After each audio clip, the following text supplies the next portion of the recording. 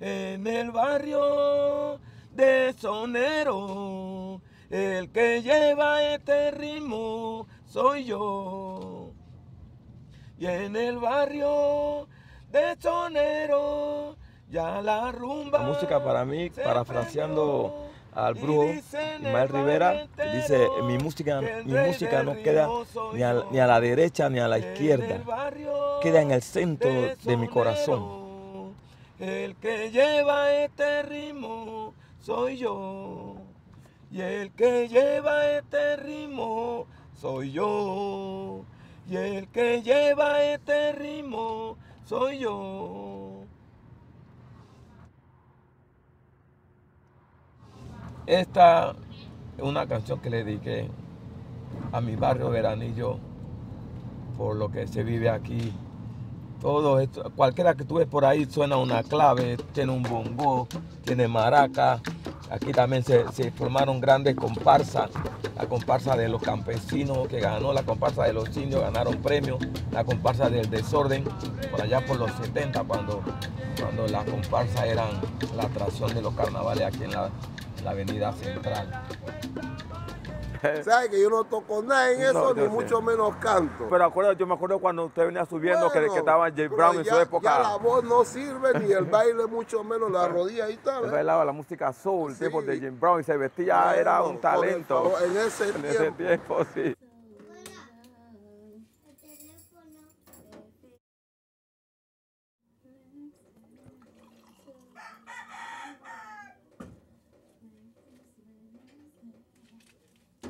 Mi nombre es Cintia Lindo. Este es mi barrio, me encanta mi barrio, mi gente. Eh, mi gente me identifica como, como Celia Cruz. Porque dice que a mí me encanta cantar y bailar y eso es lo que a mí me encanta. De que como yo vi a mi papá cantando con su hermano, a mí me gustaba. Pequeña me gustaba verlo cantando las músicas de Killing y Soflin y esas músicas así. Me gustaba el dúo que ellos hacían. Me gustaba cómo ellos cantaban. Mi fantasía es que mi nieta le guste la música como yo. Yo estaba bien, bien niño cuando yo tenía ya un convito que, yo, que tocábamos con, los- con un primo y otros muchachos ahí. Y cuando veo los muchachos aquí, yo, ajo, pero si esto es lo mío, esto es lo que me gusta, y me quedé con ellos.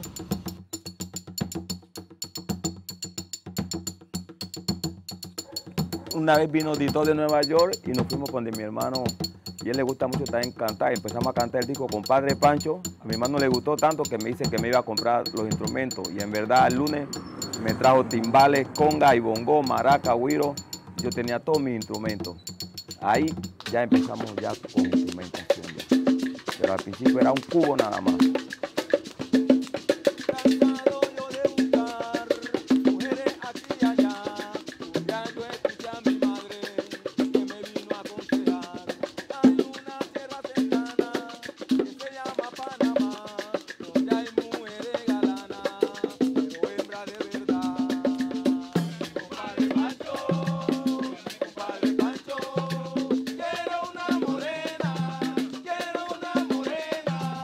Herencia esa que nosotros eh, siempre hemos tenido en la sangre, musicalmente, ¿no? Eh, eh, pues, porque aquí, aquí, la gente que llegamos aquí, éramos oriundas todas de la ciudad, de- del centro de la ciudad, Marañón. En los años 60 y pico, ah, después de la construcción del canal, estas cuestiones, todos esos grupos antillanos que vivían, convivían ahí, fueron unas fusiones que se fueron dados y heredamos esa música de nuestros padres, de nuestros abuelos, eso fue cosa que a nosotros nos gustó, pues. Esa música de son y eso. La discriminación, la discriminación, la discriminación fue hacia el negro.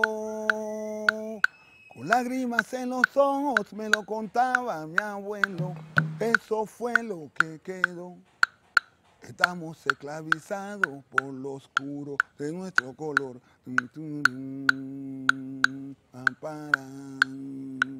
Cuando el negro se liberó. pionero de, de- de este ritmo de barrio empezaron, tales como el amigo Martillo que por aquí se encuentra, estaba el señor Armando Vergara Pití, estaba Gregorio alias Goyito, estaba el que señor acaba de suceder, Chombo donde Panamá, Los Santos, Herrera y Chiriquí están en busca de ver quién será el campeoncito, pero yo lo veo bien, Chiriquí será campeón, esa provincia es emoción y paraíso de Parte de mi niñez yo la viví aquí, Por eso digo hoy, eh, en este sector campeón. 32 y nos reuníamos campeón, a tocar música de de todo género emoción. en la casa del difunto Chiriquí Gregorio campeón, Martínez, Goyo, hijo de de la difunta Tiola. Estos fueron un proyecto de, de viviendas nuevos que se hicieron, piso y techo, recuerdo, la calle afuera, eran las primeras casas de, cemento que hubieron. Todo lo demás dañamente era de madera. La gente que se fue sumando, pues. Y entonces toda esa gente, todos esos señores más altos que nosotros, eh, nosotros veníamos eh, con, ese ritmo musical, ¿no? Que eh, o sea, que éramos gente con muchos recursos, entonces eso era nuestra, nuestra alegría, eso, eso, eso nos, nos bonificaba la vida, nos, nos, nos oxigenaba, pues. Y en, esos cantos, en esos cantares, nosotros encontrábamos esto, un tipo de expresión que, que se identificaba con nuestro diario vivir. La gente pusieron huelga, no pago, no pago, no pago en las casas que estaban a orilla de calle. Y entonces, eh, como la gente no quería pagar, el general Torrijos vino aquí, donde hoy día está el centro de salud, y preguntó, pero ¿por qué no quieren pagar? Entonces salió la difunta Petra Revolución y dijo, porque no hay agua ni hay luz. Él les contestó estas palabras. Mañana mismo tienen la luz y el agua, efectivo. Así mismo fue, si otro día estaban la gente instalando la tubería de agua y los otros del IRRE en esos tiempos abriendo los huecos para meter los postes de la luz. Esta era una vida difícil antes aquí, porque aquí no había luz, no había agua, pero sí había música, alegría. Bueno, yo soy el hijo del Rey Varo. Mi, nombre es Baristo Vargas. Cholo Varo me dicen. Actualmente la música, mi vio me llevaba a la música de los 14 años. Siempre andaba con él para arriba y para abajo. Y bueno, hasta mi vio que metió los, eh, la- los éxitos de Tu Solo Tú, La Espiritista, La Colegiala que se fue. Con Mochiluca, palo de mami, por a bailar. A mi mami le gusta. Coge chévere, que chévere. Bueno, actualmente mi viejo murió, pero yo estoy sigo con la música para que el nombre no muera. ¿Usted me entiende? Y ya, bueno, y así.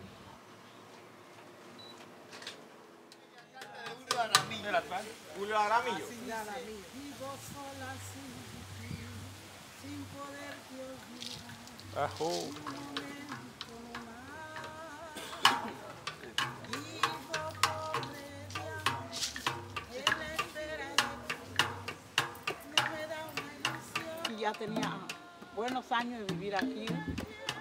Y entonces que esto era distinto que antes. Porque yo me sentaba, no era aquí, sino allá arriba en el poste, con los muchachos. Y ahí mismo nosotros pintita y los pelados su trago. Y después de la nada yo, ¡ja! yo sacaba mi canción y empezaba a cantar. Y los pelados le gustaba mucho cuando yo cantaba así que me buscaban, me decían, su, eso, que tengo que cantar, ¿no? Vivo sola sin olvidar,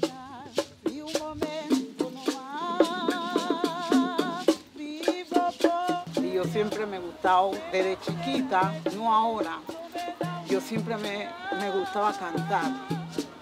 Yo me ponía solita, ese a recordarme cosas.